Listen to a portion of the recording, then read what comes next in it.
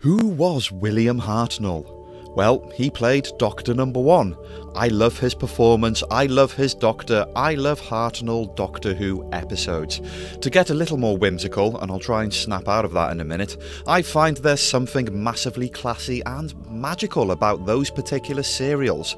But who was William Hartnell? In regards to that question, I would like to refer you to this particular piece of text. Biographical information about William Hartnell is hard to substantiate because of conflicting information from different sources. Oh boy. There really is a lot to unpack with trying to unearth the life and times of Mr. Billy Henry H. Was he born in Seaton, Devon, or the slums of St. Pancras, London? Was his father a dairy farmer or a soldier turned stockbroker? More contradictory accounts to follow, but here's some of what we do know. William Hartnell was acting as far back as 1926, mostly in Shakespearean theatre. He fought in the Second World War and, after suffering a nervous breakdown, returned to acting in the 1940s. Lots of acting, mostly playing shouty, fuggy authority figures in predominantly comedic roles. He was in Carry On Sergeant, Second World War drama The Way Ahead, and, well, loads more besides. It was his performances in the TV series The Army Game and the drama movie This Sporting Life that put him on Verity Lambert's radar. And so, to gloss over 50 years of life experience, there it is. At the extreme back end of his career was the iconic role which eclipsed everything else he did Susan Foreman's grandfather. Foreman? Chosen chimp here. There's a biography about William Hartnell. It's called Who's There? The Life and Career of William Hartnell. It was written by his granddaughter Jessica Carney, and according to Wiki Fandom, this biography is criticised by some as being more of a hagiography. Okay, let's see. The term hagiography is often used as a pejorative reference to biographies and histories whose authors are perceived to be uncritical of or reverential toward their subject implying, I suppose, that this book leans unnecessarily heavily towards the good stuff. Although, in that same paragraph of Wiki Fandom, it is also said that the book fully acknowledges the difficulty of finding out the facts and that extensive research on the man was done.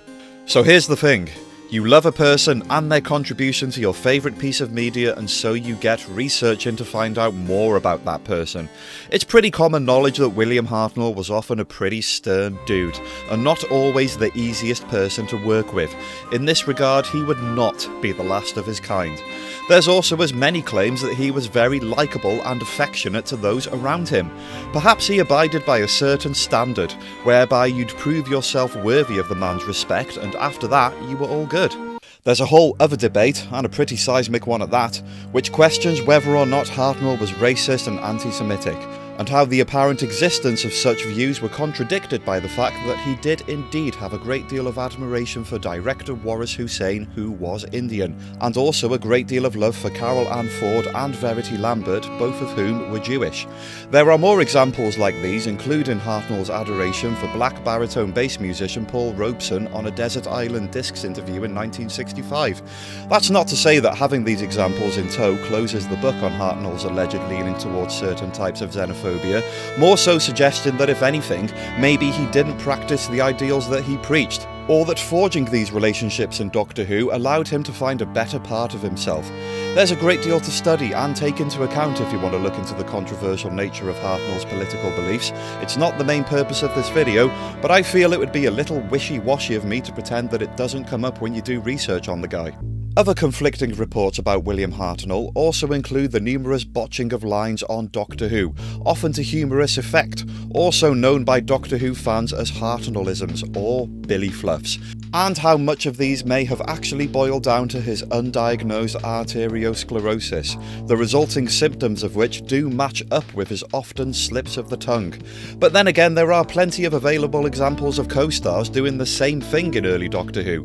There is also no end of boom mics and shadows and the occasional mysterious extra to be found when watching these old serials, and this was because scenes in the first handfuls of Doctor Who were performed with near enough no edits and rudimentary vision mix into actors' cuts, recorded in one take and on one reel. You gotta think of Doctor Who more as like watching a play than TV in many respects, or edited together watches of live TV. You had to learn your lines, perform on the night, and if there were little hiccups along the way, they just get left in. When you consider this much pressure to perform, you can't criticise Doctor Who for the mistakes, but praise it for all the stuff that went right. It vastly outweighs the gaffes, and Hartnell's performance is simply incredible, warts and all. Other clashes of accounts also include whether or not the Billy Fluffs increased in conjunction with Hartnell's decline in health during the many lost episodes of Season 3. Some say certain reports of Hartnell's health were exaggerated by producer John Wiles and Innes Lloyd to nudge Hartnell out of the series due to pay disputes. Oh, what else? Oh yeah, Patrick Troughton. William Hartnell really admired the guy, that was for sure, though some say bringing in Troughton as a replacement was his idea, others say he was just told it was going to happen whether he wanted it to or not.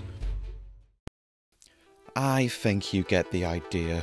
Only so much you can say with relative clarity. Only so much history that stands uncontested. Sorry.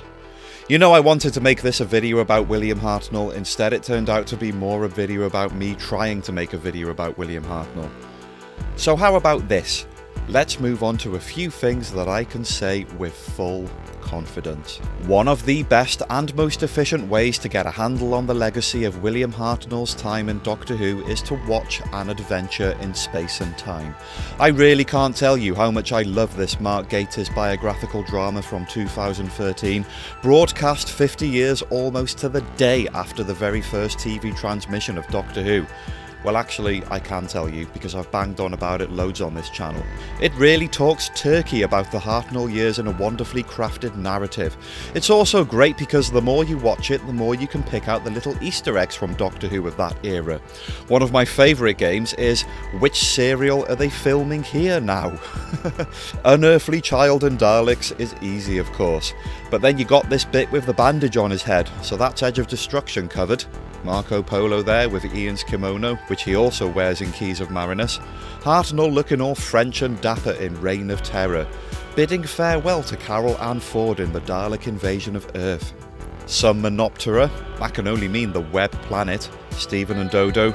This scene where Mr. Hartnell struggles to coordinate is from the massively lost The Massacre of St. Bartholomew's Eve. Ben and Polly there, the 10th planet, OBS, the end. If you're looking for bang on chronological accuracy across the board in every microscopic detail, then you will find holes aplenty in An Adventure in Space and Time, because for the sake of telling a good story, certain details are changed and repositioned. They just had to be. It even says so at the beginning.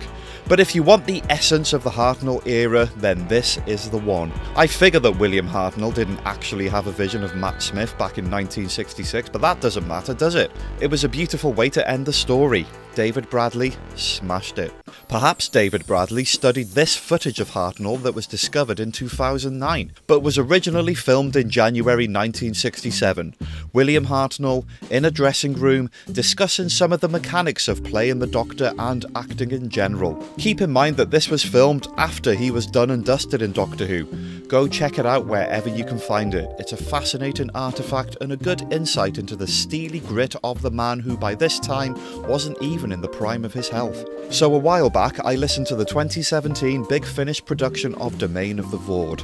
This early adventure story serves as a pretty meaty follow-up to the wonderfully daft Keys of Marinus from 1963, and alongside Carole Ann Ford, Ford, sorry, as Susan, it also sees the return of William Russell, reprising his role as Ian Chesterton as well as playing Hartnell's Doctor himself.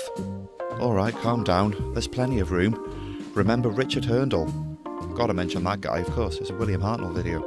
As a bit of bonus content, this audiobook contains a little soundbite from William Russell where he briefly talks about his time during the filming of Keys of Marinus as Ian Chesterton, with some lovely words about former colleagues, including, of course, William Hartnell. There was only one Doctor Who for me, as you can imagine, and that was Bill. He had so many different unexpected qualities which he was able to show. I thought he was brilliant.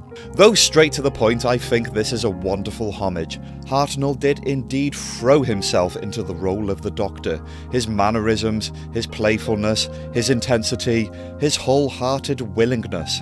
The original seasons of Doctor Who were a success for a lot of reasons, and the input from cast and crew made it a true sum of its parts. And yet it's hard to imagine it becoming what it did without the contribution from this guy.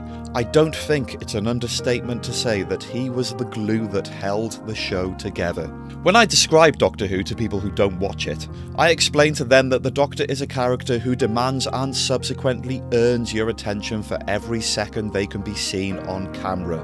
You're not looking at anything else, you're just looking at that face and those eyes, and you're hanging on every word of dialogue. Little or nothing else on screen at the same time eclipses the aura of that particular character. And make no mistake, folks, Hartnell epitomised this, and he did so because he really cared so much about this character.